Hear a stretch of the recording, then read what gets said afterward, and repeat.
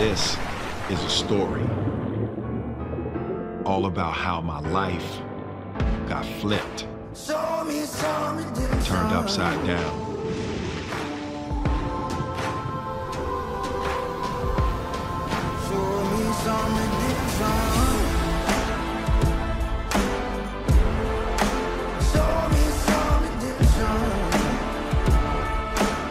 I looked at my kingdom. I was finally there to sit on my throne.